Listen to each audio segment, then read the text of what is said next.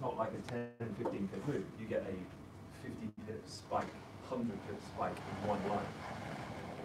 Now, now the directional trend is when, uh, well, have to look at the headlines of the actual minutes that came out, what were the comments that came out, as to then what's going to be the overlying trends that now materializes.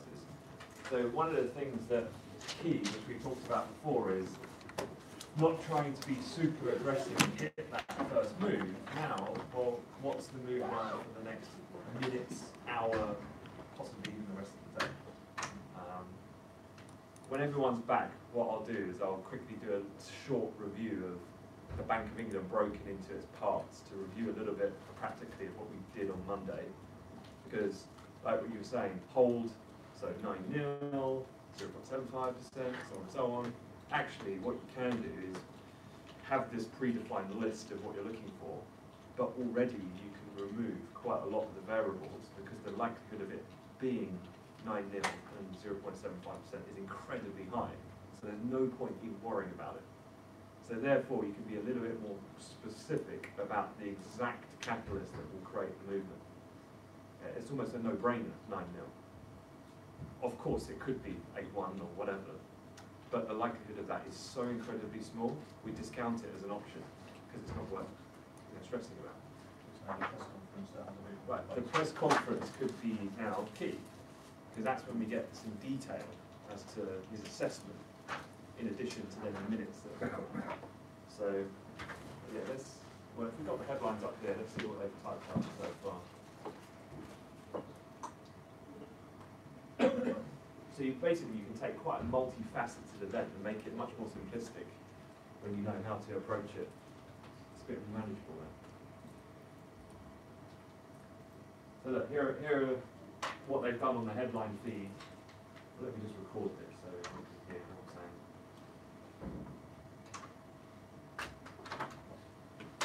saying. So th these are the comments from the minutes, the statement. So for Brexit, maintain assumption of a smooth adjustment to the average range of possible outcomes. I don't know if um, Tommaso had the squawk on about 15 minutes ago. I just did a rundown of England. And that's exactly the same language as what was used to identify the situation before. Absolutely not new. Just a copy, literally, Word document, copy, paste, repeat. Uh, which was kind of what I was intonating towards this morning, which is there's no real need for him to alter what he said last time that specific language because he has no further clarity of what the outcome is going to be. We're in exactly the same position. Now, he can't be stressing, saying in his language, I'm really scared about Brexit and its impact on the, economic, the economy it might have, because he needs to also manage the situation that on the balance of probabilities, we're going to have an orderly Brexit. So why is he going to talk down the market now? Remember, he needs to keep a constant continuity to his messaging. He can't go, well, there's risk of a no deal, now we're thinking quite dovish. Oh no, March 29th transition, oh, we need to now start thinking about tightening policy because inflation might come. Can't afford to do that. He will lose all credibility, as we said on Monday, very quickly. So he almost needs to toe the line. If you're a Bank of England member now, what can you do? You can't do anything because the biggest outcome is going to influence your projections is totally out of your control. So all you can do is just kind of stand pat, which ultimately translates into a fairly, I guess, benign event where it doesn't really create massive shocks in the market. Um, well, look, let's have a quick look at some of the other stuff. Growth, global growth continued to slow in recent months, uh, largely reflecting Brexit uncertainty, MPC expect UK growth to recover later this year. So they're still, you know, on the balance of probabilities, their language, they still expect an orderly Brexit. So the GDP forecasts, as per the government, as per the NIESR, the third party bodies, they all expect that we're in the dip at the moment, but then it's going to not shoot through the roof, it's just not going to rapidly decline any further, because this is the worst point of the Brexit process now. Inflation slipped to 2.1% in December. So inflation, in actuality, has been weakened quite quickly, but it's weakened to target. It's expected to slip below target in the near term amid declines in petrol prices.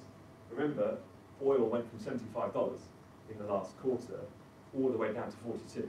So the net feed through into petrol prices is quite an immediate one in that sense. So petrol, but they're pinning then, well, inflation has fallen, but it's due to petrol prices.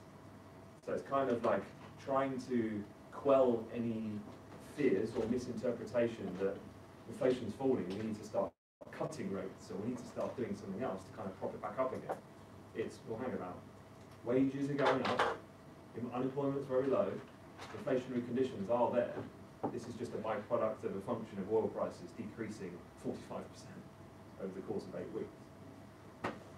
Um, Rates, so interest rates, the big one, maintain guidance that monetary policy to be tightened over the forecast period. For the Bank of England's language, when they say forecast period, they're referring to what's called the two-year horizon. So it's a two-year outlook when they say that. Um, at a gradual pace and to a limited extent. So they're going to tighten policy at a gradual pace and limited extent.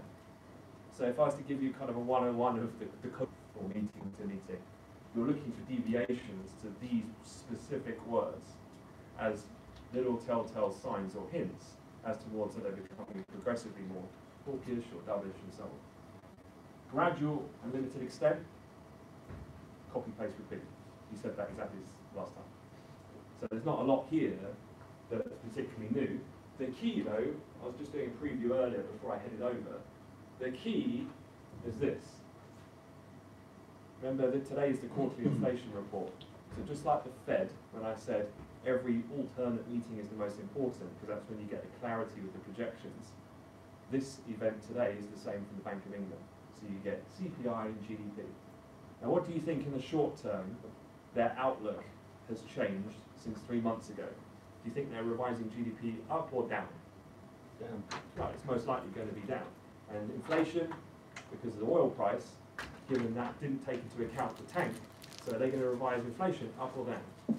Down. Down. Right, so the question now, from a trading point of view, is you've eradicated the rate announcement, you've eradicated the vote split, unimportant.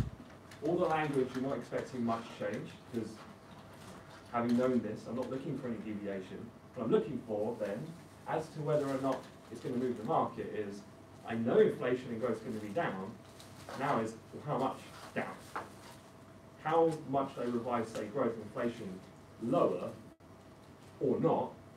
That's now my spectrum of a hawkish reaction or a dovish reaction.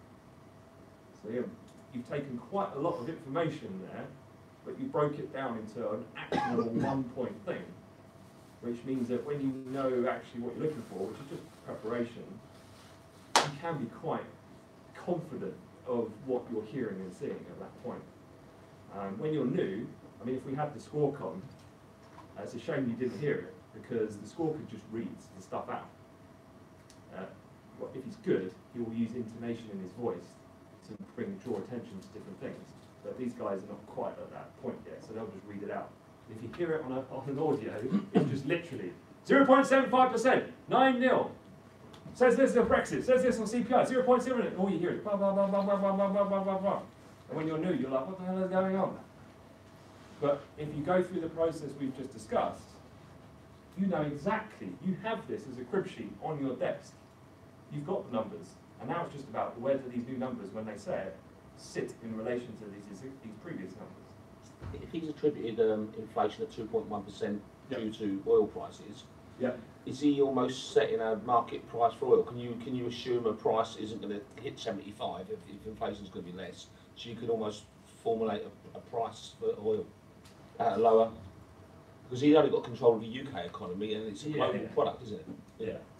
I'd, I'd say difficult to draw that kind of conclusion in terms of, um, I think the, the reaction effect is because that, that size of decline in oil was just so large and it's completely irregular. What happened at the end of last year, the last quarter, um, I think is a, is a complete one in a decade type move. And, and so he just needs to factor that in because this is where he can use that as a potential element to sound quite hawkish, discounting then it down to a one-time effect. So when everything appears quite dovish, don't forget we've downgraded inflation, we've downgraded growth, we're worrying about Brexit, we're saying policy's going to tighten gradually in a limited extent. However, actually, what we're saying is scratch it away, there's inflation potentially. So it's kind of, rather than then setting the signal to the market, this is super dovish, you've kind of counteracted it, and he's achieved that goal of being fairly on the fence. Uh, his goal today would have been, I've got no idea how Brexit is going to pan out right now, and so all I need to do is try to get this release out in as calm and orderly fashion as possible without us losing our heads. And I guess this is how he's trying to achieve it in, in that sense. Very important, I think, for him today not to be overtly dovish. Um, if you remember one of the briefings, I don't know if you caught it uh, yesterday, there was an ECB source report, and quite interesting that they're using the narrative of sources, so undisclosed people, which I'll explain in our lecture in a second, are the ECB, effectively. Kind of an unofficial channel to communicate to the market. But they're saying doing these LTROs, those cheap four-year loans, which would be a policy stimulative measure, they've said, the sources, that's not a done deal for March. So if you think about it, the Fed is doing all these dovish things, that's created us to think, well, everyone else is going to become dovish, and they're putting out the signal, well, hang about, that's not the case. Because what they're trying to do is manage the situation and keep all options on the table. If the Fed, we know, is super important, and they're going to do what it takes to bail out basically the, the global downturn, well, if I'm the ECB, great, let the Fed do what they've got to do. If I don't need to touch anything, all the better for it. Because then when the fracture of the Eurozone does happen, well, I've got plenty of things I can fall upon. Whereas the Fed run out of options at that point. So this is kind of the, the management that they go through um, in that respect. Um, the press conference, so exactly the same as the ECB format. This will now go to half past 12. So he'll kick off in 15 minutes and he talks for about an hour. Um, there's a very distinct process to press conferences with the central bankers. So having been to them, basically, you know, you're all there with all the hacks and they're there and all the Telegraph Times buddies are all partnered up. And then there's all like the lower tier press agencies here. Then you've got the financial news agencies here. It's got a weird school playground of little groupings. And then when Mark Carney goes and his press officer, there's already a pre-selected list of who and what order they go. And there's a definite hierarchy. So if you're from the Liverpool Echo, I'm sorry, you're last at that point. Whereas the guy from Times chief economics editor, he's either number one or number two, behind the FT and the, the, the Telegraph guy. Um, that does, though, give you a very clear framework as when the market move, if there is something, might happen, because the most pressing and potential ones where he might say something always come first. So if you think about it, if I was in an ECB press conference, the first questions I'd ask would be, what do you think about the trade war and its impact on global growth and as a consequence, your policy? Okay, next. What do you think about what's happening with Brexit and the risk of a no deal and its impact on the European economy? Yeah, so all the really juicy ones where he has to navigate without committing, but giving you some kind of clarity, that's where he might make a mistake. Once it gets to the seventh, eighth, tenth question, it's a snooze fest. It's just boring because everyone. That's not to say you don't have half an ear on what's going on, but you know that probably the bulk of the action has, has finished at that point. Yep. So can we say that his goal is to control risk sentiment? Yeah. Yeah, yeah. In this case, absolutely. Okay. Given the the context of the looming deadlines for Brexit, this is a, a prevention almost. Let's just control. Market sentiment right now is actually fairly healthy overall. Post the recovery we've had in January, markets are kind of a little bit at the moment. If you look at what happened, 10 key issues to play out. If you think about it from then, a non-intraday, bigger investment point of view, a fund manager and so on, do I want to put large capital to play? Well, I don't know the outcome of trade wars. I don't know the outcome of Brexit. What am I going to do? What's the logical answer? Let's just hold off. Let's see, and then we'll we'll go from there. But all of those deadlines, don't forget, are coming. March first, March 29th, you know, it's, it's all coming up soon. What you could get then is a lack of real volume, quite sharp little pops in prices, but no real clear direction. And this can be quite dangerous when you're in the intraday, because when you're new, you can get what looks like a trend, but then it can pull back on itself and so on. So, you know, just things to think about. Okay. That's enough on that, otherwise I'll uh, run out a bit of time. Don't worry, we've got plenty more central bank decisions coming up, I'm sure, in the future. Well, look, this is cable now. Initial reaction, recovery. Because on balance, as we've just gone through and we've discussed, you can see there's already not a great deal happening. For me, given the job I used to do, obviously, all the stuff I've talked about, most traders, uh, if I'm honest, wouldn't really know too much, and they would just depend on me. But what I would want you guys to do, by me talking you through it, I think you can have a hell of a lot more confidence as to what you're doing by at least understanding the process that I would go through. Am I saying you need to do what I'm doing with all the things I've just explained?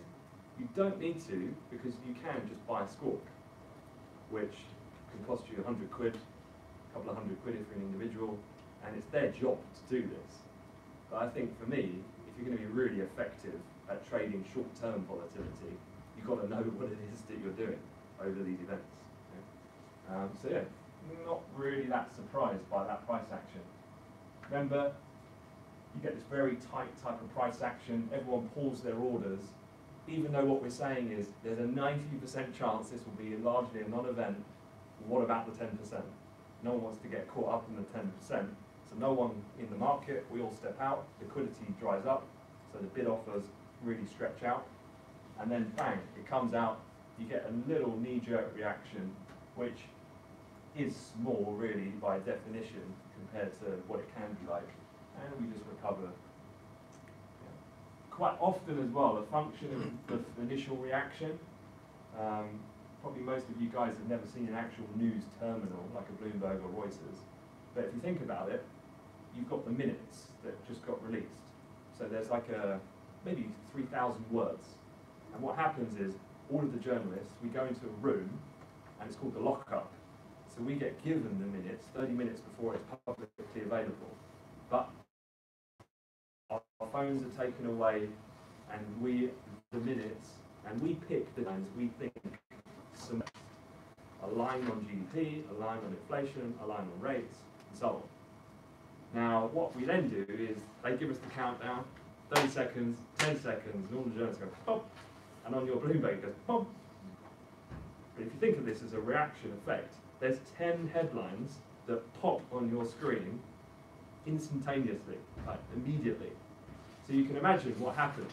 It's quite frenetic, which is why you get this kind of really sharp on a, on a second move like this. Now the algo will just go, boom, take what's binary, it's 9 0, it's 5 4, and it will take action. The human will go, "Uh, uh, uh, uh you get this kind of post reaction that can take a couple of minutes because we are way more effective than the machine at interpreting nuances of human language because we can be adaptable. What if he says something that's not quite usual or part of the pre-programmed communication strategy? So this is where you know you can get these kind of moves. Maybe you get a spike lower and then it drifts up, or you spike high and then drifts down. That first move is the dangerous one. You know, I always communicate to the newer guys. You want to be looking for the latter move because if you think about it, if we were trading this event together live and you guys were making the decisions, well, hang about, you don't even understand most of the things that just happened, and you're going to trade it. It's like, well, what you're doing now is watching colours on the screen and going, it's going up and going up, it's going down, I'm going to press sell. That's not good enough, I'm afraid. You might as well just go and have, you know, buy champagne, go to the horses and gamble. It's a lot more fun than it is sitting in an office with me. so, yeah, it's got to be you know, a conscious decision that you're doing. All right, let's get the slides up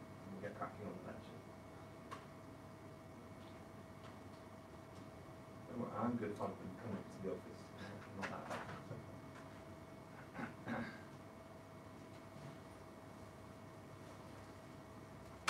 the lecture we're going to do is about exactly what we've really talked about, about the news. So um, really what I've talked about can be applied to some of the slides. So hopefully we've not all been good use of time.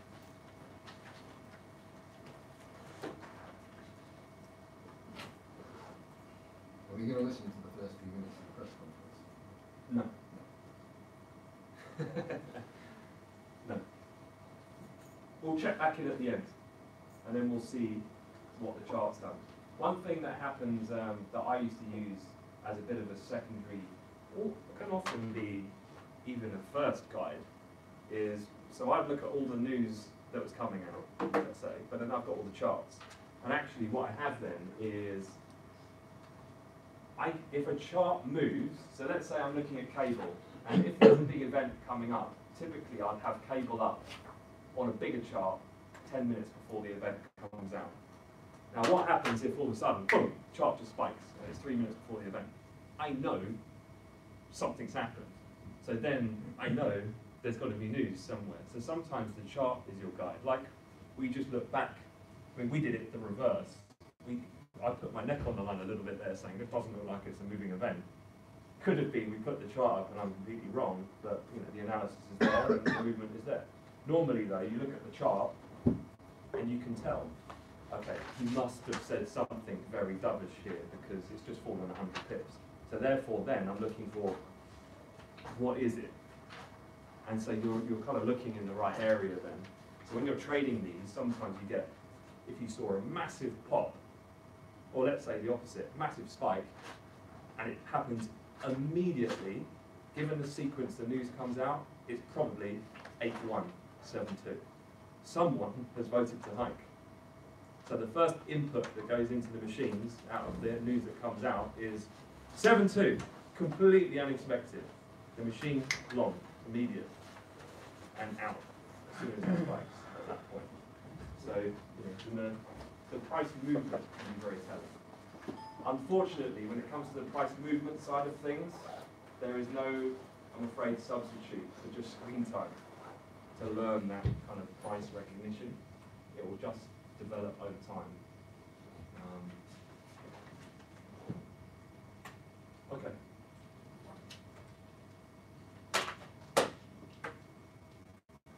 So, to give this some context as we kick off, we talked on Monday about all these kind of big top level issues.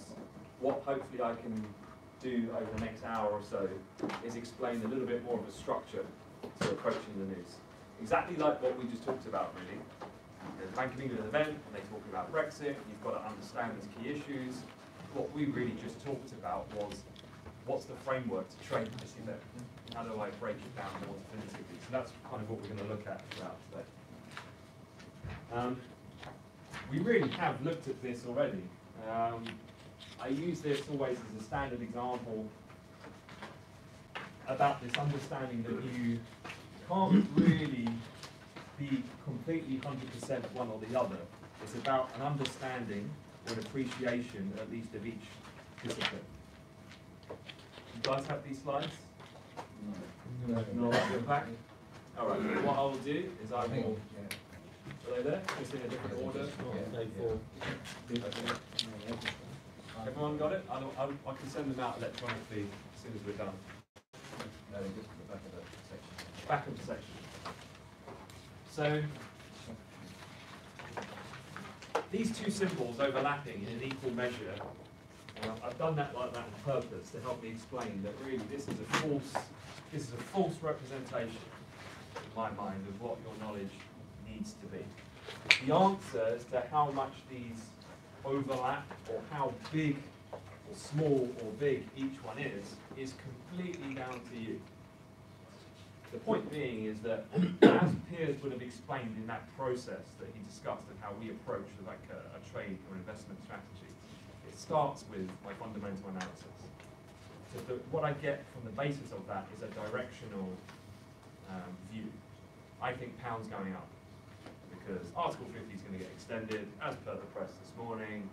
I'm not going to have a no deal, therefore I'm, I'm going to be long at this point, let's say. Well, that's fine, but we all know that it's not quite as simple as then just taking a long position.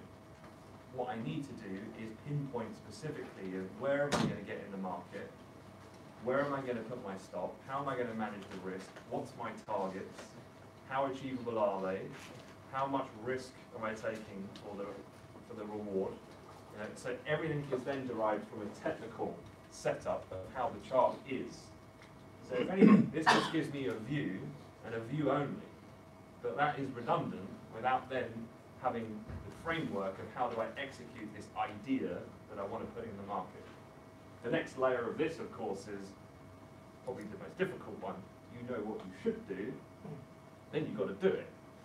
And that's really tricky on the psychology side of when you know, taking the position, executing it, and managing the risk appropriately is kind of the one step beyond this, which we'll talk about later. Key things are, um, just given the fact that most people I encounter now with Amplify tend to come from a, a kind of technical background, no problem at all if you're 95, 99% technical. I have no issue. I sit with Sam, and I would say Sam is, I don't know what he qualifies himself as, but I'd say he's probably 80 20. 80 20 in terms of how he views the market. Now, the 20% though means that he's not going to go long into a market that fundamentally is saying to go short. So he's using the fundamental analysis as an additional factor to have a better, more cohesive bulletproof strategy where he's not taking inappropriate risk that's against then events that might unfold. So that's from a direction. But what about the timing? Knowing when someone key's going to speak, when a rumour could come out, when there's a big piece of economic data, these are all fundamentals which need to you need to have an awareness of to deploy these strategies more effectively. Um, one thing I can say is when I worked previous job, it was all institutional clients, the technical analysts absolutely were on top of the bigger picture. Now, could they talk a game like the economists or strategists? No, well, it's not really their job to go to that depth. But do they know generally what's going on? Absolutely. How can you do decent technical analysis without knowing the bigger, broader picture of things?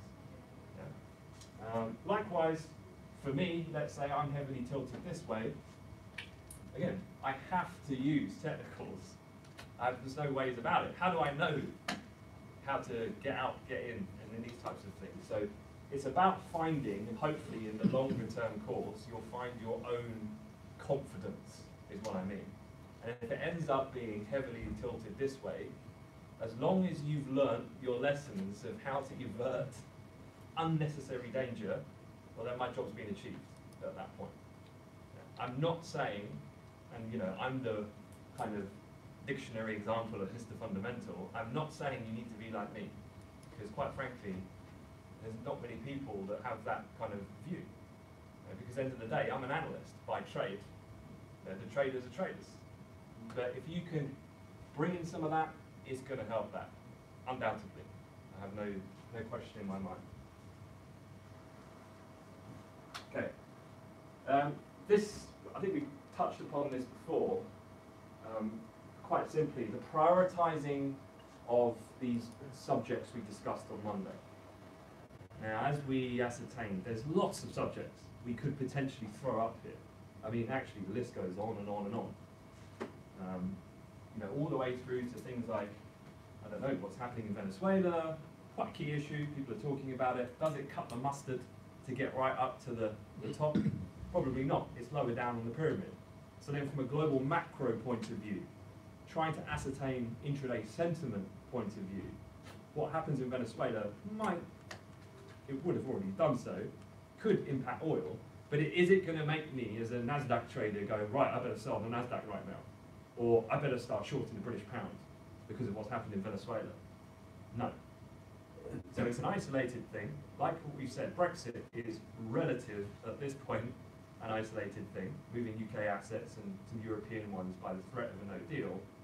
The big one is a trade war because of the fact that it affects the two real key players globally, and it's not just a trade war, of course, with China. The US has got in their crosshairs lots of other countries as well. So it's a massive key issue that then by default, when you're looking at news coming out, you've almost got like a scale of Trump, Trump in general probably takes about 50% of the entire market focus from a news perspective in the fact that of moving news or moving assets. Then you've kind of got all the other things down below. What I try to do is every day objectively review this kind of pyramid or hierarchy to think, has this changed? And now to think about has it changed, well, what do you think this will look like on March 29th? EU at the top. Right, so these will move up on that one moment in time. So then, if there is, it's literally, because it's 11 p.m. on that day, it's obviously there an hour difference. If it's 10.30 that evening, people in America, people in Asia, no one will care about trade war, no one will care about you know anything else going on in their domestic market. The only thing markets will look at, whatever it is, it will be like this, Brexit. Because we've got 30 minutes at that point. Because don't forget, all of this is a reflection of our behaviours. And we are very quite simple things at the end of the day. We're not, we don't have an ability to have multiple things firing off. We tend to latch onto one narrative. Uh, we'll kind of explain that, but it's very important uh, in that sense. So, yeah, prioritizing the news, critical. Because otherwise, as you guys might have done so before, hopefully coming on this course, you might have gone, where do you even start? You know, there's so much. I mean, if I just sit there watching the news all day, when am I ever going to do anything? So I absolutely agree. So you have to apply some kind of structure to what you're looking at. Otherwise, you would literally sit there and you would get not a lot done. You're not, you wouldn't be very efficient with your time. Um, this is explaining, I, I guess, breaking fundamental events into two distinct parts. And quite simply, this is scheduled. So things like economic data, central bank speakers, government bond auctions, corporate earnings we discussed yesterday. These are all set in stone. You already know about it the day before, the week before, the month before, so on.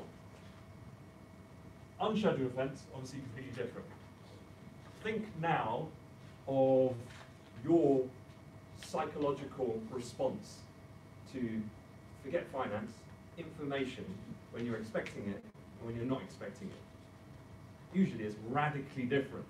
A preparation, making a conscious decision of something you're expecting compared to fight or flight, system one or two response. That can be highly, or can lead to highly irrational behavior in that circumstance. So when there's unprepared news compared to scheduled events, the response in the market can reflect that type of human behavior. Yeah? If something's really negative, I think I gave the example, and it comes out negative, even though it's bad, we're like, hmm, okay, it's bad. If something comes out of the blue, think about it.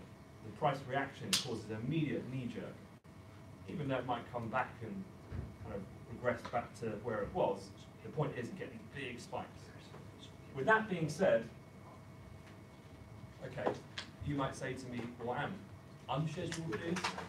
My God, what we're going to sit there and think about every single possible thing that can happen on planet Earth. No.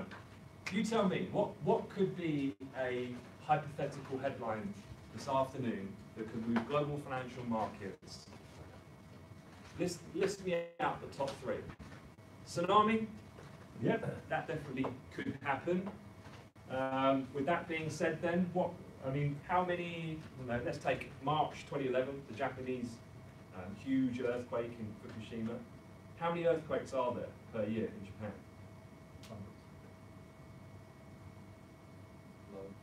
Like thousands.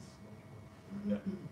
So how many, how many are there, um, I'm going to say moving, so say if you saw a headline, buildings in downtown Tokyo moving due to earthquake and tremor. For me, okay, yeah, it's, uh, it's Thursday, we're about due. So these are the types of things where actually, even though it's unscheduled, because it's such a regular occurrence, you could almost expect it could happen. So it's unsurprising. Now it becomes moving over here. It's almost scheduled. You go, it's like clockwork. We're due one now. It's every other day, almost, or every day. What else? Think about this afternoon with the pyramid. What's a hypothetical headline that could come out this afternoon? Trump tweets something. He says, China, screw you. Okay? What's the probability of that? It's, it's definitely a possibility, right? Uh, what else? One more. May has heart attack. May has a heart attack. Yeah. What's the probability of that happening? Is that wishful thinking? Zero point zero two percent. Could it happen? My God, I would definitely understand why if it did happen. So what I'm saying is, even though there's um, to break down and make it a bit more manageable, being very proactive and being able to respond to trade news, my head, I already start thinking about what could the news be this afternoon. Don't even remember yesterday when I did the briefing, I found a UK journalist, Paul Brand of ITV News, a correspondent, and he had all the definitive meeting times of the Tory Conservatives meeting May in her Northern Irish trip, then Sinn Féin, and then the DUP, all at exact times. So from that, I can derive then an agenda of her day and a structure of the meeting that's happening. I can then start to have a pretty educated guess at when her conclusion of talks will be with the DUP, as to then mapping it off the previous meeting times. So for everyone else who sits there going, I wonder if we'll hear anything about Brexit, I know exactly almost the sweet spot of minutes within one day of where, when that news comes out, I'm all over it. And you're sitting there going, what's going on? So this is the difference where this stuff is scheduled. I don't know she's going to say something. I'm just hypothesizing that if there's going to be unscheduled events, I can already start predicting what these might be, dependent on my pyramid. There's no point me stressing about the Greek PM resigning. It's of no consequence because no one cares in terms of what's going to move markets in that way. You see what I mean? It's like talking about oil prices. If oil prices go down to think oil producing nations will say, what would be a, a common sentence? So oil, fiscal break even on average for a Gulf nation, 100 plus. Oil's trading at 26. What do you think that they're likely to, what would Nigeria say?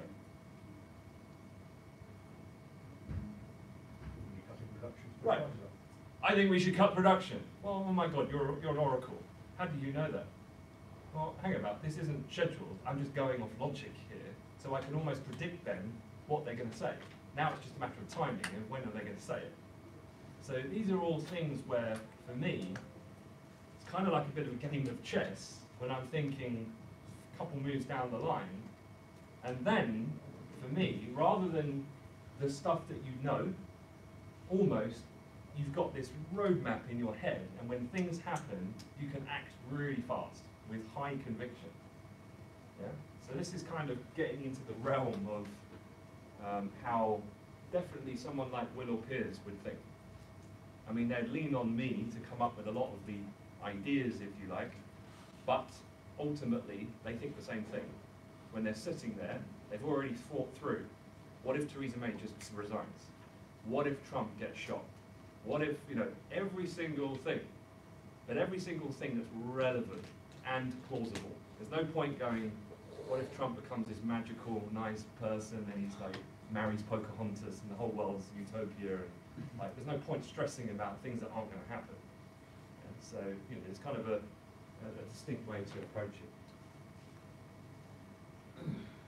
Uh, this slide's just to, to, to show you or explain to you a bit of a difference between the way that information is delivered or disseminated between Western developed market and Asia.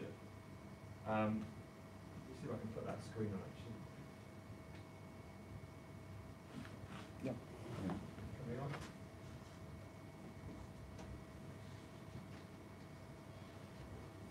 What I mean by this is, uh, trying to remember when it was, but um, I had to set up a, a, an Asian desk doing the squawk with my team overnight. So I had the, had the pleasure of working overnight in London for a year. Uh, but what it was great for was I got to watch Asian markets firsthand, sitting there throughout the whole night, every night. Um, and what I noticed was quite a distinct difference in the way in which news is disseminated. Now, big problem we have in Asia, obviously, is language and also geographic timing. If you think about Asia or the region in the Far East, you've got literally different market opens for every different area. New Zealand, Australia, South Korea, you start getting the other regions, China, Hong Kong, Japan, India, and they all kind of slot into one another. Each one as well obviously has its own uh, local language. So when it comes to getting, having access to information, um, what I found was that it was incredibly difficult. If you were going to trade news, trade the news, it's almost entirely impossible to do it effectively overnight. Um, give you an example with the Bank of Japan, um, or not the, just the Bank of Japan, but just generally Japanese equity information. I'd be there, and I would know all my Nikkei 225 companies, just like we talked about the FTSE, and all of a sudden, boom, a company shares, Nikon shares spike, whatever the company might be, and you go, you're looking at the screens going, what? I'm going, what on earth did that just happen? And then 10 minutes later, Bloomberg will say, a Japanese press agency has said this. So essentially, you have to be looking or interpreting the news firsthand in the local language if you're ever going to entertain it. So for most people, I'd say this is probably an area where you're not going to have enough information to hand. That doesn't mean, though, that you can't trade the bigger macro picture still. Something like the Australian dollar, quite liquid overnight, and actually is a good proxy for trading economic sentiment over China, given the high dependence in their trade relationship. So sometimes if you get a China negative story developing, and you have a good technical setup in the Aussie, that can be quite a nice trade at that kind of time, talking 2 a.m., 3 a.m., that kind of time. Um, the release of economic data is radically different as well. Um, the clearest one is uh, Bank of Japan, for example, and this might help a little bit about how they work, is um, in Japan you still have a lunch break. So markets close for lunch. Obviously that doesn't happen here, um, but from a strategy point of view, the Bank of Japan, when they have an interest rate decision, you know what day it's coming out, you just don't know specifically what time. So you go back and you accumulate the data as to what's the average time of release. And they typically release during lunchtime. Why would they opt to do that? Why would the Bank of Japan choose Softer to release spikes. it? Right. Yeah, remember that very first slide on the monetary policy. What is most central banks' objectives? Stability. No, they want stability. They don't want erratic movement. What they want is an orderly digestion of information as to what they think over the, the horizon. And so to manage that, you know, if you think of the process, we all get given the paper, we have an hour to then digest it, talk about it, talk to each other. If you think it's hawkish, you think it's dovish. Market opens, and then it just gradually trends. Bank of England at 12 o'clock, it's, we're all there like this, we think we know what we're looking for, and then boom, 10 comments, squawks going off, and everything dumps on you. So you can imagine the movement's much more violent than that. The other thing, again, is clearly behavioural, is I've sat there overnight waiting for this, which should be around, let's say, 2, half past 2 a.m. And I've sat there and it's got to 4 a.m., 5 a.m., 6 a.m. What starts to happen in that situation for you as a human? Get anxious. You get anxious, right? What does that lead to? Bad decisions. Yeah, bad decision. It leads to me panicking, questioning what's going on, why is this happening? And I kid you not, markets start moving in a negative way, which is just purely a function of us going, there must be something wrong. There's no factual information, it's just us trading each other, and it almost, you have a catalyst that snowballs that then becomes a self-fulfilling prophecy almost. Um, so you know, these things do play out from time to time. China is even one further step removed. Remember what I said about these guys, the ECB, Fed, we know a year, two years, the Federal Reserve, three years in advance, who the members are, when the meetings are happening. In China, you don't know when the next interest rate meeting is full stop. There is no schedule at this point. So they can hold an interest rate announcement whenever they want. There's no schedule. So that adds a completely different spin on this kind of very form, formulaic way of communicating. So you know, something to just, just be aware of. Again, how do I go about understanding when could they take action? Well, remember that last slide, the conversation. If the economy is tanking, tanking, tanking, what's the inevitable? Central bank's got to do something. Support. Yeah, so then they've got to support the economy and probably cut rates at that point. So even though there's no schedule, I can apply some degree of trying to understand what could be an outcome. Um, yeah, so the, the US, the, the ECB, the Bank of England are much more structured in that sense. okay, a few other things to have a look at. Um, this is just to give you a- an overview of different uh, services and why people might look at them. Uh, these are all, and this isn't everything, but obviously Bloomberg's the main one. To give you an idea when it comes to news, I'd say Bloomberg dominate the market at least 80%, if I was going to put a, a number on it. They are the benchmark and the main feed at which investment professionals, so by default, who's the market, are looking at. Next then is probably Reuters, uh, the European kind of competitor. Dow Jones, much, much, much smaller in terms of news. Um, and then you get FT, Journal, things like that. Um, if from a, uh, a central banker or important market um, person who can move prices, obviously they're going to want to communicate to the people directly who make investment decisions. So you're getting a bulk of your information from here. On this side, these are all kind of TV channels, so very much dependent on what it is that you're trading.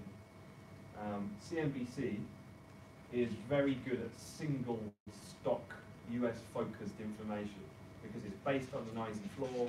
They get good hearsay from the traders who are working on the floor, and they also get exclusive comments, but it's nearly entirely single stocks. So if you're America, like we said at the beginning of the week, it's great. If you're in London, it's so drama drama that it actually is quite frustrating to watch, and then really it's not that relevant because it's stocks. I don't want to offend any Americans if there is any. I apologise. Um, for these other ones, Sky News. Only thing Sky News is good for is terror alerts. That's pretty much where it begins and ends. Um, remember, these guys have about, you know, two, just over two and a half thousand journalists, all which are financial journalists, basically. These guys need to break news.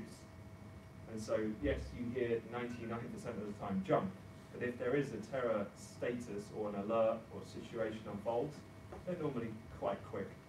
But I'll show you ways much quicker that you can get off social media than you could here. Um, BBC News, very good for geopolitical events. Um, go back to 2014, 2013, Russia, Ukraine, for example. Well, how my mind works is, you know, when you watch the news and you see the guy with his hat on and his jacket, and he's like, oh yeah, I'm in you know, eastern Crimea, on the, the eastern side of Ukraine, I'm getting shot at, and he's like, yeah, I'll see you again in another hour for my next update for 60 seconds. So me, I go, well, who's that guy? What's his name?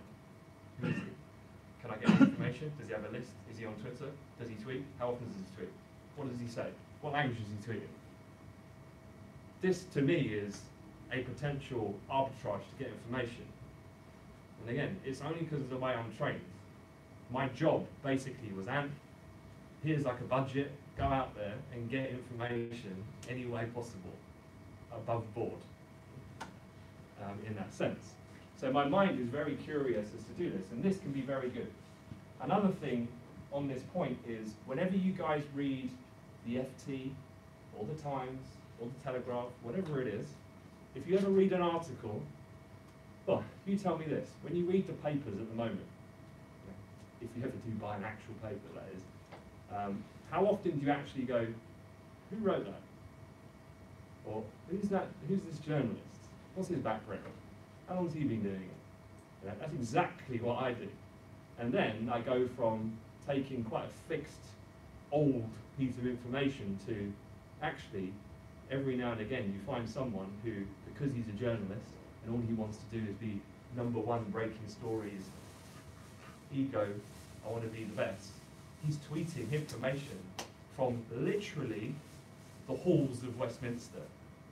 They come out of an MP's meeting, a cross-party deal being brokered, he tweets it 10 seconds after it's left the lips of Jeremy Corbyn. Sky News, BBC News, it's five minutes. I'm in, I'm out. You're the guys going long, taking the other side of my trade when I'm coming out, more often than not, if you're really drilling it down. So this is the, the benefit of using these different, these different kind of services. Bloomberg Television, I'm sure everyone might have come across that. Um, a couple of things to be aware of. One, um, this is a, a loss leader for Bloomberg. Doesn't well, it's only recently that they've started to monetize the model on their website as a subscription paywall. Before it was all free. Bloomberg Television is purely done as a platform for sell-side institutions to speak and to draw us into the Bloomberg terminal, which they derive nearly all of their income from. As we said, a Bloomberg system costs fifty thousand dollars. So a big major investment bank takes twenty thousand of them every month on a subscription. So the math is the model's built on that. What you can get from this though, for you guys, is really two things. One, I would say learning finance is a little bit like, or markets is a little bit like learning a foreign language. You might, and absolutely, I know when I first read the FT, my first day at work, I was just like, "Hmm, okay, do I want to admit that I don't get 75% of what this newspaper is saying?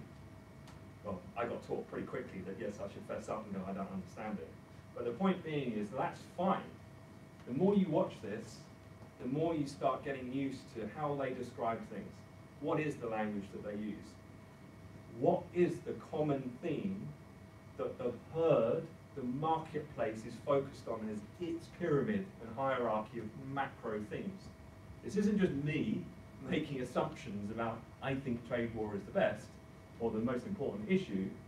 I listen to the head of every major US bank every time he comes on. I want to know what they're saying.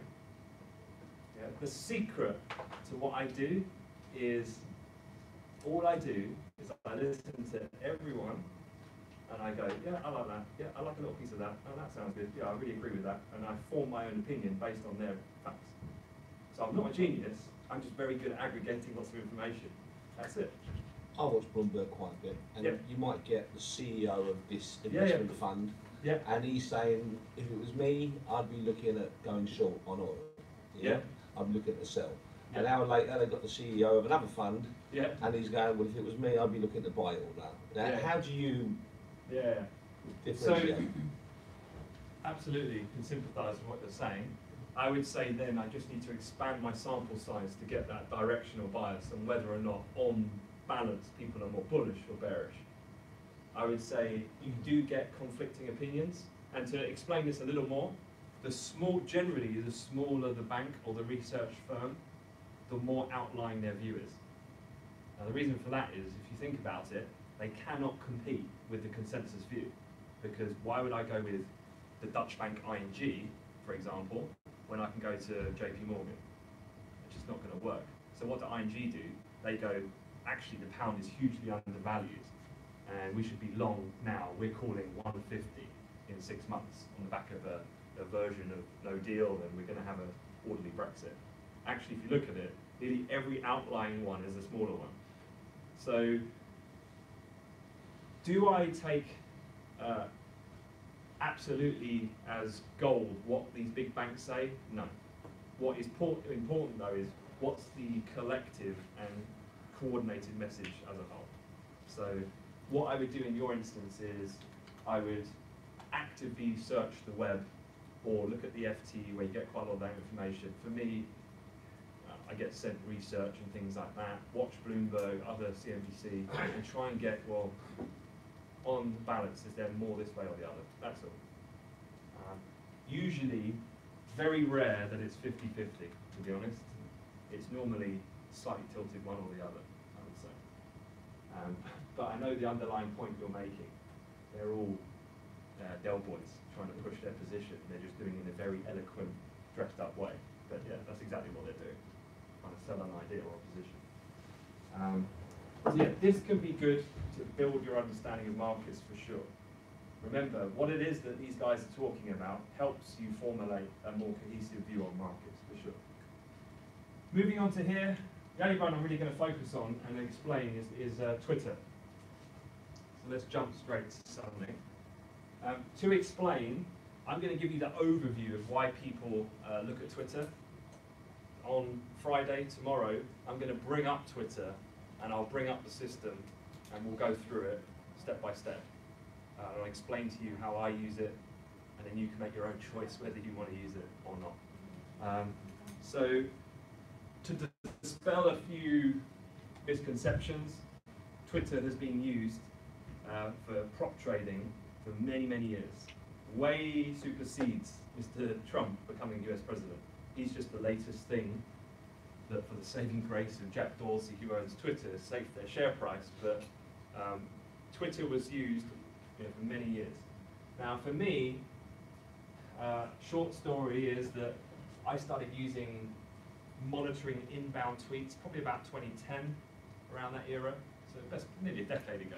And at the time, people were highly critical of me doing it because they thought I was wasting a lot of my resource, either me or someone in my team doing it. Um, what happened was we, I kept seeing opportunities for people brokering news on, on Twitter.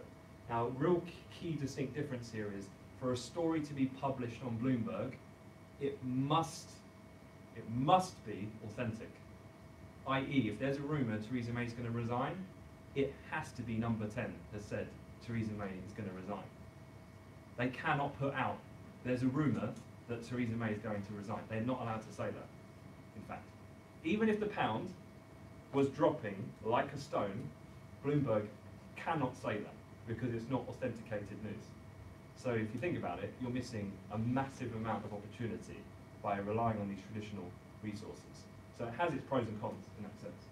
Now, we then set up a system where we had a designated guy just watching Twitter a full-time job. Um, then in April 2013, yeah, beginning of April 2013 was when the Boston Marathon bombings happened. Remember that? The two brothers are on the run. Um, now, not that that caused a, a, a big reaction in the markets, but what happens on the back of that is that naturally terror alert status in various Western cities goes up a notch. So for me and the guy on the team looking at that, he then starts going into a higher state of vigilance looking for potential terrorist activities. The way terrorism tends to work is because we as Western media love publishing pictures of terrorism and kind of almost glorifying it, it almost cultivates then more people to get into terrorism, so on and so forth. So there's a distinct pattern between terrorism can lead to more terrorism, yeah, in that sense. So I think it was about two weeks later, we had this tweet come out. Now, at the time, the guy, the guy who was squawking it was still relatively new. So this is kind of how uh, a squawk, this is how squawk sounded when he said it. Breaking, two explosions in the White House, Barack Obama is injured, AP News. Now AP News, if you know Associated Press, their Twitter feed has uh, probably now 12 million followers. So it's not a small account. It's one of the biggest news agencies in the world. Verified account, his was a genuine account. Obviously, the way he said it was the complete opposite of what I did immediately after he said it, which was basically gave him an elbow to the head, pushed him out of the way, and I started screaming the house down when this came out. Because as far as you can tell, it's genuine news. So this is not on Bloomberg, it's not on Sky News, it's not on Reuters, it's just a tweet that's just dropped down on a page like this but he just so happened to get it one second after it came out. This was the Dow Jones, immediately upon release of that tweet. Remember, this is completely out of the blue. I remember when it came out, it was just after uh, midday. The Dow immediately started selling, But if you remember the function of the market and how it operates, particularly with automated systems, markets just tank. And when you get a massive order of sell orders rushing to the market, all the systems see this activity and take advantage of that, and they sell. And so the move becomes very pronounced very quickly. So within 30 seconds, we'd had quite a violent drop in the in the Dow Jones Industrial Average. Now we then found a, a, a guy who was photographing the president, who was a Time magazine photographer. So I'm on the squawk talking you guys through this. Because when I have been on a trading floor doing my job previously, when something like this happens, half of you are switched on and you're able to react, half of you are running around like blue ass flies going, what the hell is going on? And, and, and what's going on? So what, how do I control hysteria? I start talking a bit deeper, very calm, I keep the dialogue running, I let you know what's going on, we're checking into it, we're now seeing this tweet. And literally this is what I was taught to do as, as a job because you guys need to rational, rationalize the situation when otherwise you're completely out of control. Found that tweet, he said about the Time photographer denying it, that it's false and he's with the president. Some traders at the time, clients we had, reversed their positions, rode it all the way down, all the way back up. Now, don't get me wrong, you don't sit there waiting every day for the what if. This is literally the once in a few years opportunity. But we used to get paid, to give you an idea, those who are able to take advantage of this type of short-term volatility, banks used to pay us month to month a rolling subscription fee, and they were paying us three years in advance after four minutes work. Yeah, so you, you can do the math on what you could have achieved if you had the advantage of getting the news first. Bloomberg ran the headline here. AP News says, explosion at the White House. What did the market do? The market's already gone, come back, gone sideways, and they released the news. So it was immediately after this, in April, and again, true story, Bloomberg came, Sam, the guy was, came to my office and he said, and there's my resignation. Day after, and, I, and he went to Bloomberg. And now Bloomberg have a full designated six-man team that monitor Twitter 24 hours a day globally out of London. I've seen it, it's pretty cool. It's just one long desk about the size of this room and they all sit there just looking at Twitter. Yeah, so this was the one that really changed the game that meant that really you had to have it. With the rumours, with these opportunities, the way that the markets work now, especially with Brexit, if you think about Brexit, it's nearly entirely rumours. This could happen. He's saying that. She's thinking this. And actually, if you think about it in the short term, nearly every one of those creates a potential for a market move. Yeah, so it's almost an essential thing. And tomorrow I'll show you uh, the setup of how, how to get the system running. Um, this case study is just to show you an example of the difference that time makes to the impact of news. And secondly, how to manage a rumour, if you've ever heard one. First of all, this was at 5.42 in the evening. I remember it very clearly because at that time it was only me and then there was one other of the guys in the course that was in the, in the room. Everyone else had gone. Um, I heard the squawk then say, um, Telegraph tweet, there's been a breakthrough in the Brexit negotiations. This was about um, the divorce fee. Basically, there had been a compromise, a fee had been agreed. Positive. The problem is, it's quarter to six in the evening. Now, remember, this is back in 28, yeah, well, this is actually further back than that, it's 2017. So what was happening here was the reaction is only Americans really in the market. If you're an institutional FX trader, you're long gone at this point, you're home. Americans not so savvy on the nuances of the Brexit situation. They're probably much more now, they definitely weren't 18 months ago. So there was a massive time advantage here. Because also, how many Americans are looking at the Telegraph Twitter account? They're just not looking at it. So all they rely on is the squawk says it, the squawk then is used in New York and Chicago, the broker hears it, the broker calls the trader, the trader puts the trade, the trader calls a client, the hedge fund XYZ. And so you've got plenty of time to get into that trade.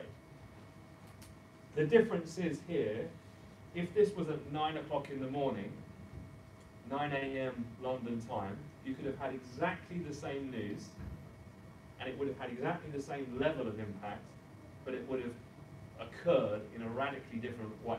It would have just gone like that. So when the news comes out and where it's originated from is very important. Remember what I said, Bloomberg carries 80% of the financial news. And I said Dow Jones, for example, or Wall Street Journal is way smaller. So what if something comes out on the Wall Street Journal first? People on Bloomberg are not going to see that instantaneously. Now, I would, because I'm looking at everything. And then you've got that time advantage to be able to get in the market before then the rest of them hear it. Here then, and this is a good point of how news agencies work, market's gone higher. Now let's say this isn't the Telegraph, this is Bloomberg. Bloomberg say Brexit deal. We all start buying the pound, the pound starts rallying.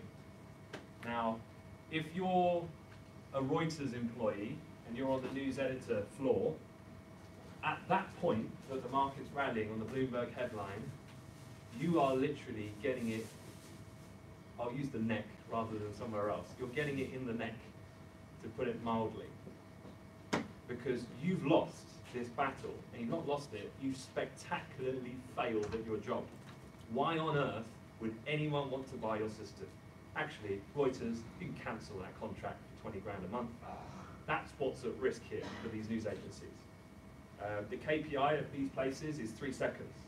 Every day, they sit there at the end of the day and the beginning of the day when you work on the Bloomberg News speed news desk, and they run through how many times did you beat Reuters and how many times did they beat you. And if it's too tilted the other way, you're fired. You're not good enough at your job. Yeah, so that's what we're talking about. When the market rallies on the Bloomberg headline, this nearly always happens. There's really two outcomes. One, Reuters comes out because everyone's been forced to then get their contacts to come back with some sort of rebuttal to the headline, and they nearly always say the opposite. Why? Well, they need to remain that they're a value-added product, and if they just add to the story Bloomberg's already done, well, what do you need Reuters for? So they nearly always try to find someone who'll take who says the other side and creates a meaningful callback. The other thing when there's a rumor is and I would do the same, and I used to, even as an analyst rather than a journalist, I'd call number 10. I would literally call number 10. If there's a situation at Heathrow Airport, I used to call Heathrow Airport.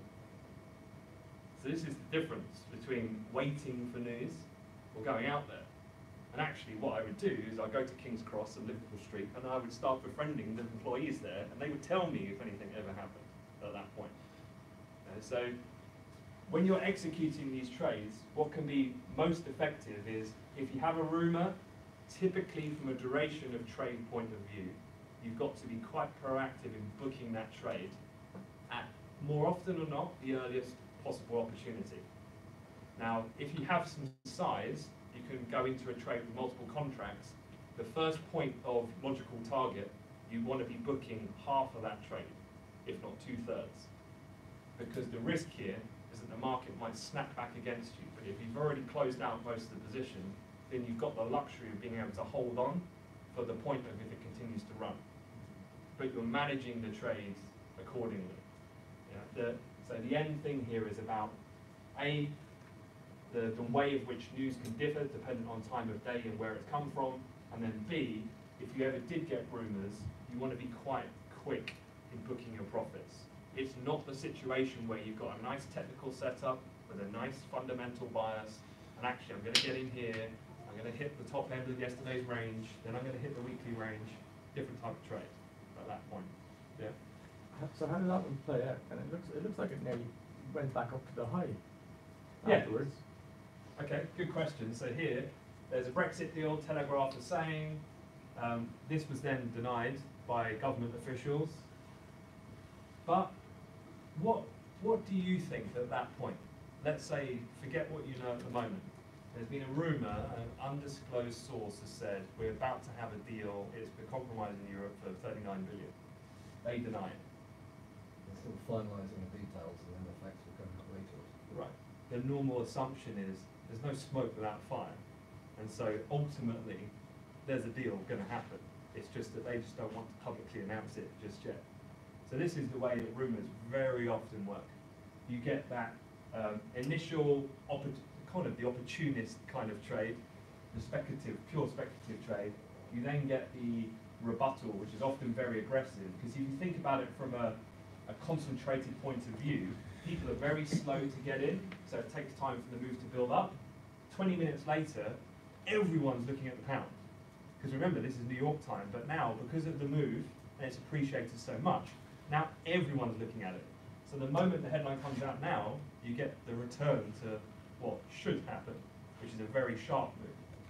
And then it climbs back up as people kind of realize, the realization is a deal is probably uh, more, more than likely to happen. Um, we're going to look at this tomorrow. This is just the system that we use, which is called TweetDeck. The only one thing, if I can ask you to do tonight in preparation for tomorrow, is register yourself for a Twitter account. Go to twitter.com. Um, if you already have a Twitter account, I would suggest setting up a brand new one and call it Markets Joe or whatever you want to call it, because you don't want your friends in it, you don't want famous people in it. It needs to be built for purpose. So if you do have your own personal Twitter account, keep it personal. Just have a separate one that you use for trading. So set that up tonight, and I will walk you through it step by step how you can use it. Because we've only talked about it from a news perspective. It can absolutely be great for learning keeping your finger on the pulse and the global macro stuff we've talked about throughout the week. Um,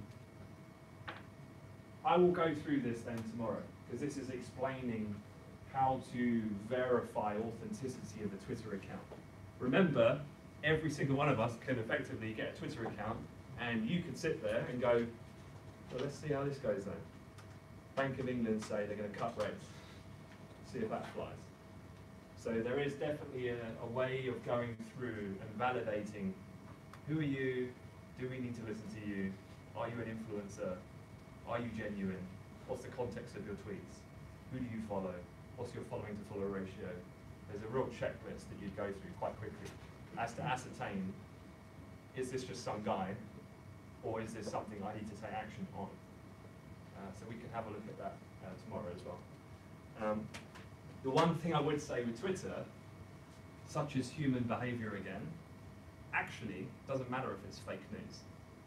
If it's done in a way in which enough people believe it's real and take a trade decision off the back of it, doesn't matter that it's wrong or fake. What you should do though is change your duration of how long you think you can hold that trade. I.e., you want to be pretty quick in getting it on and getting it off if that opportunity ever arose. Uh, I've seen it once before. You remember that hawk, hawk dove spectrum? And there was a German guy on the far right who's called Jens Weidmann. I've seen it before where he's tweeted, and it's his ECB profile picture, Jens Weidmann, and he said, I think that we should start thinking about cutting interest rates. So this is the absolute opposite of what he should say.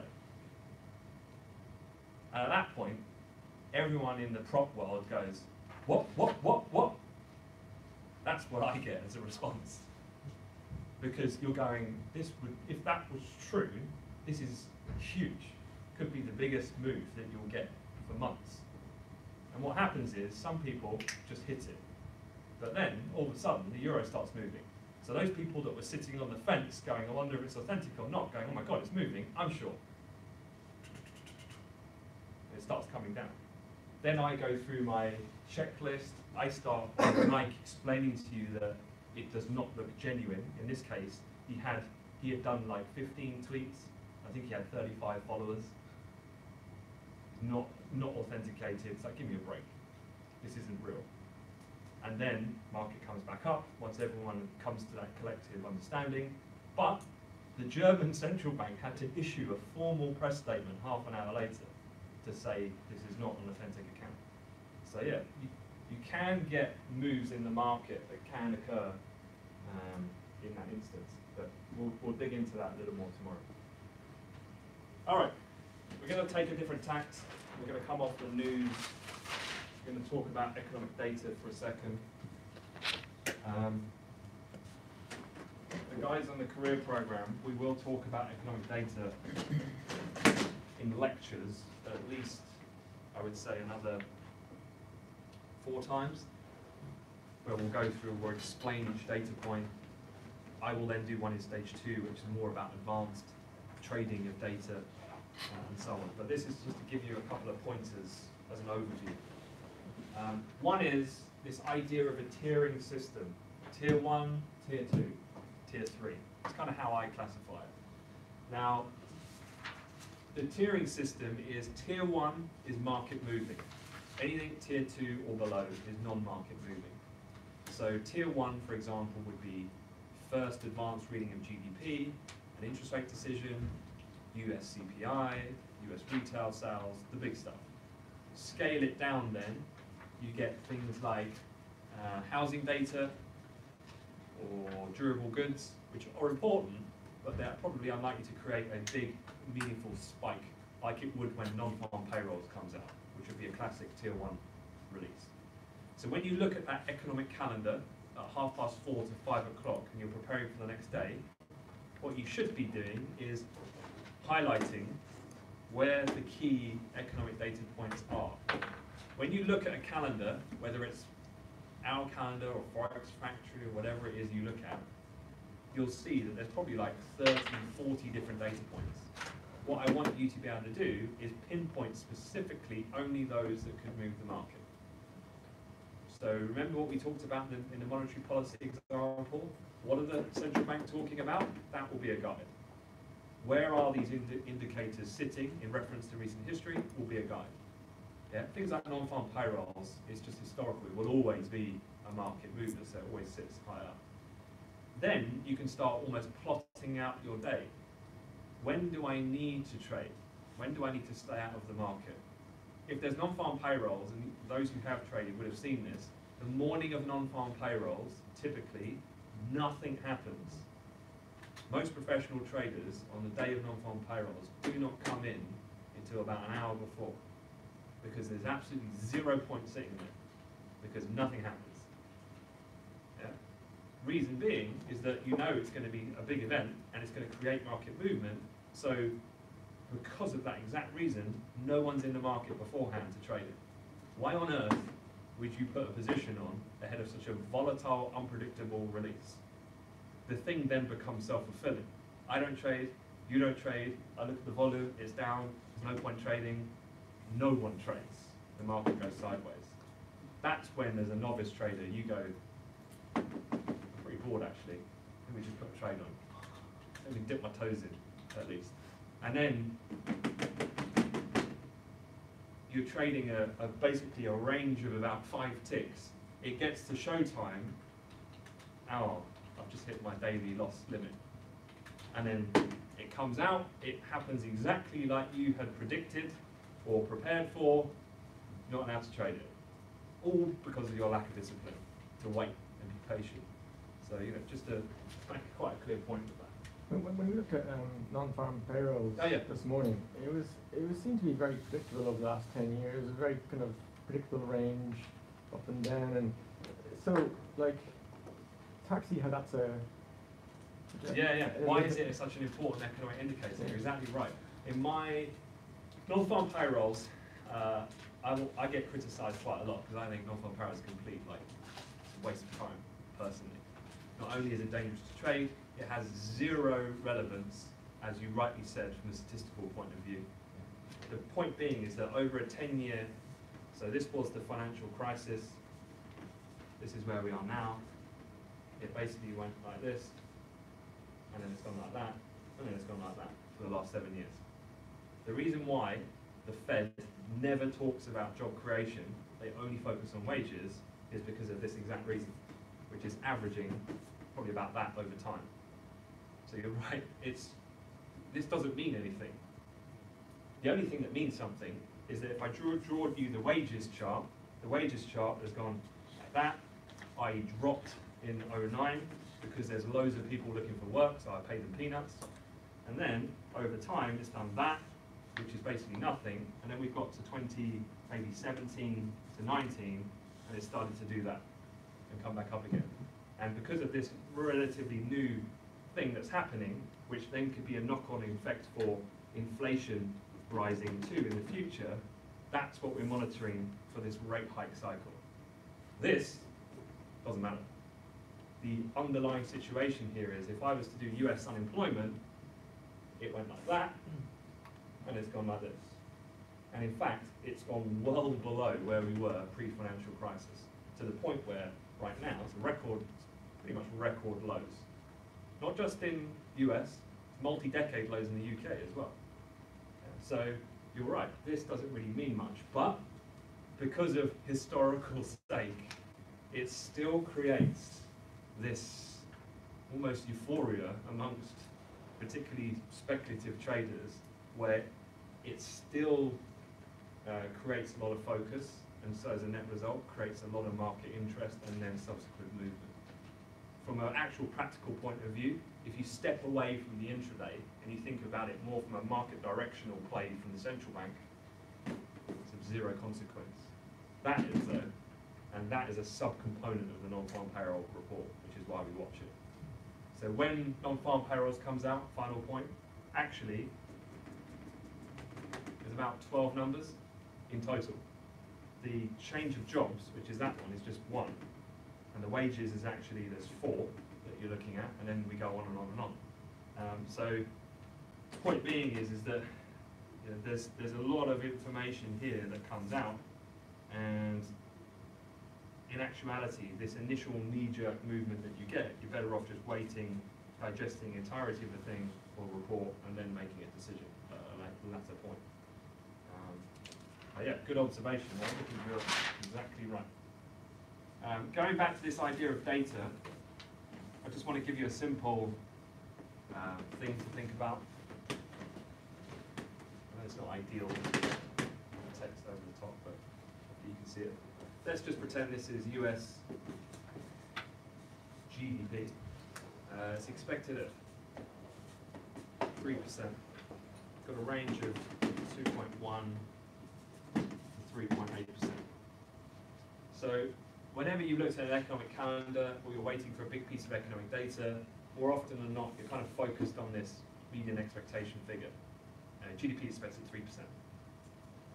Important thing though for tier one data to understand how the market might react in the short term is not so much this figure, but these figures, which is a surveyed range of major banks and major research houses. So if it's a tier one economic indicator like non-farm payrolls, so we got that 170,000 for the top line jobs creation figure. What Bloomberg will do is the benchmark service, they'll call 50, 60 banks and they'll go, what's your number? And HSBC will go 3%, or in this case GDP, 3%. Barclays, what's your number? 2.1. JP Morgan, what's your number? 3.8. Most people, because they're all looking at the same inputs, they've just got different models that calculate slightly different numbers. But most models will deviate to the mean, in a sense. So you get this normal kind of distribution. Now, what's key then is you've got the expected value. You know now, as a framework, in your mind's eye, what would be the realm of expectation. So now, instead of focusing on here, thinking more about, well, what's going to be something that would breach the upper bound or the lower bound. Now, the data comes, 10 seconds, 5 seconds, and it comes out 3.5%. So it sits, let's say, about here. The initial reaction, if we look at the dollar in isolation, is the dollar spikes up, almost instantaneous, because it's a function of variable A is over variable B, the machine goes by, and then it fi- finds the first possible point of previous area to then get at. Now, one thing to be aware of here is that there's a large, well not a large, there's a minority of the market which actually this number is disappointing because they were factoring the 3.6, 3.7, even the 3.8. What happens then is once the algo executes its trade, the market naturally loses all the bids and it drops because all the buyers have come out of the market. So you get an initial push, then a pullback. What can happen here then is this over a very quick time frame, I'm talking seconds, if you watch non-farm payrolls, it can do quite erratic, sharp movements like this. Now, from an actual practical point of view, what can you can get drawn into as a new trader is you go 3%, 3%, 3%, 3.5, and you go, why do you do that? And that's me pushing the buy button. Why? Because 3.5 is higher than 3%.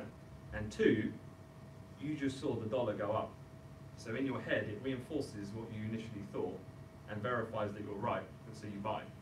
Now, the point of you making that, that decision process takes less than half a second.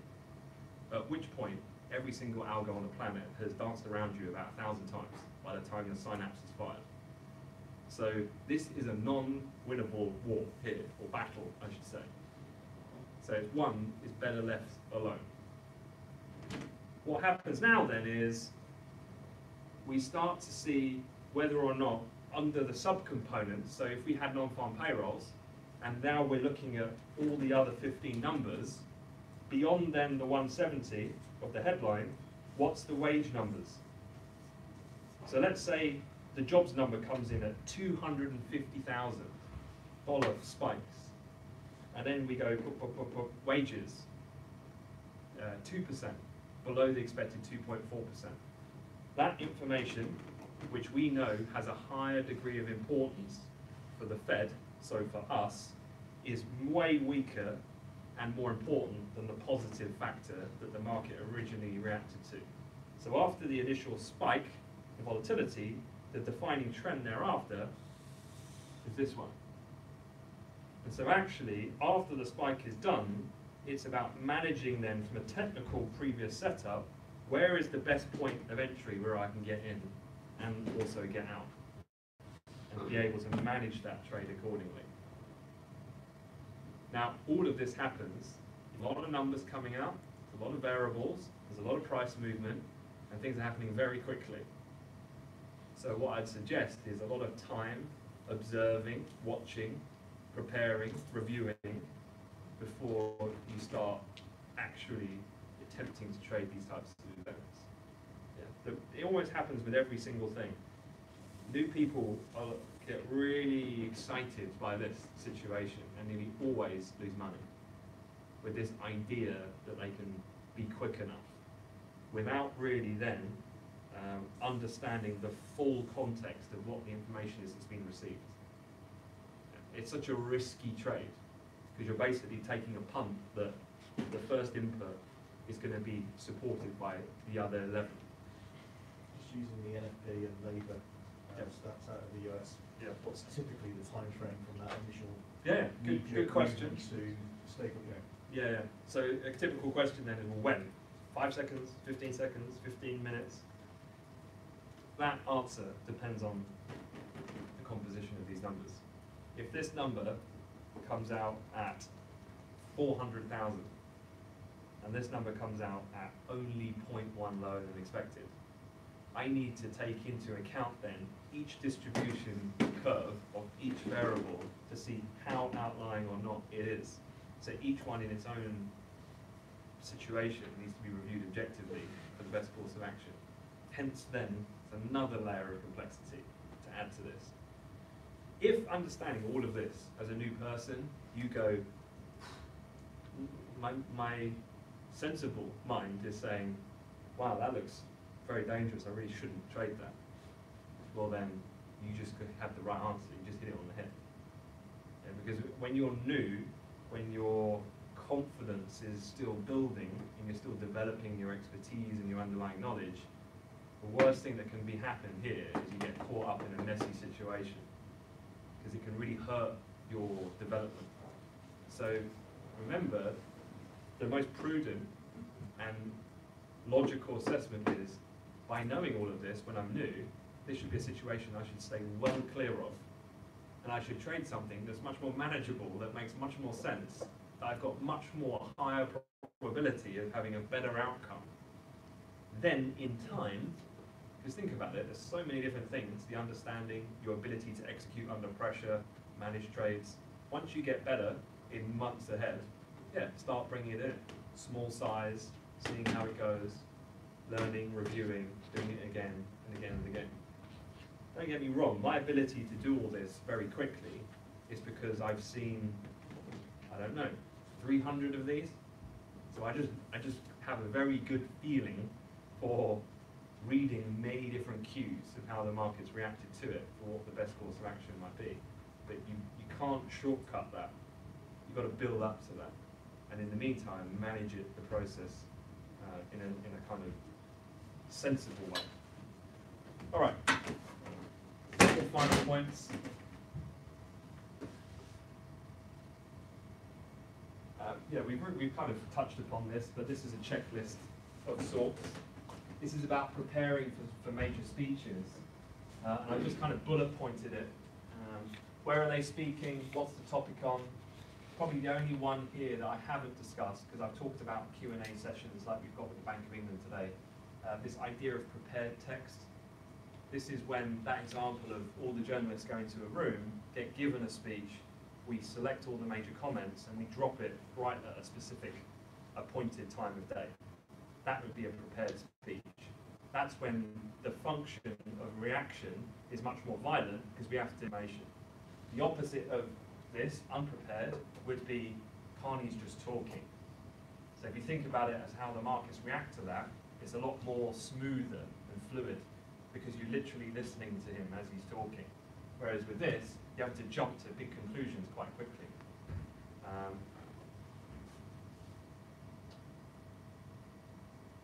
yeah, we've, we've done this today. So this was just about um, prioritizing order of importance. This is just to give you really what we discussed at the beginning. How do you take what is arguably quite a complex event, but break it down into something that's much more actionable? So just a review of what we did. Um, just because I'm mindful that there's some one-week guys here, um, this is obviously Trading Live, which is our portal. Uh, the squawk that we have is actually from these guys. Uh, this is one, if you're ever going to trade US stock news, these guys are the best in the business at it. Uh, these guys are, are the best at the global macro side, which is what we're, we're focused on. Um, so yeah, making more sense of the squawk, that's me. And that's my old desk. So you get a sense of if you're really going to stay on top of the news, this is kind of the level that you're doing it at. You're working as a unit, looking at nearly every single thing. So hopefully you can make a little bit more sense why really having a squawk is critical. There's no way that you can do that and trade at the same time. Because the moment you look away from your screen, you're going to miss something. And so you rely on those guys to catch it. Uh, for any younger people, if you're thinking about that as a career, uh, pretty tough because traders are strange beasts. They will never thank you for making them money. They will absolutely crucify you when they lose money because you're the first person that they'll come hunting for. So uh, I kind of got a kick out of that because I quite liked it. The kind of edginess of having someone lay into me kind of kept me on my game. Um, but a lot of people, it's not really a career for them. Um, as you can imagine though, doing the stuff like this, you learn very quickly about lots of different things. Nearly everyone who came to our desk and left went on to do predominantly things like asset managing, things like that, where the pace was radically different, but they could apply their kind of understanding of markets in that sense. All right, that is it. Um, Will's going to come over in 25 minutes, 2 o'clock. So you're going to do the psychology session. I absolutely encourage you to really push him on like probing questions because he is someone who, um, yeah, he's, he, he's like a little fly in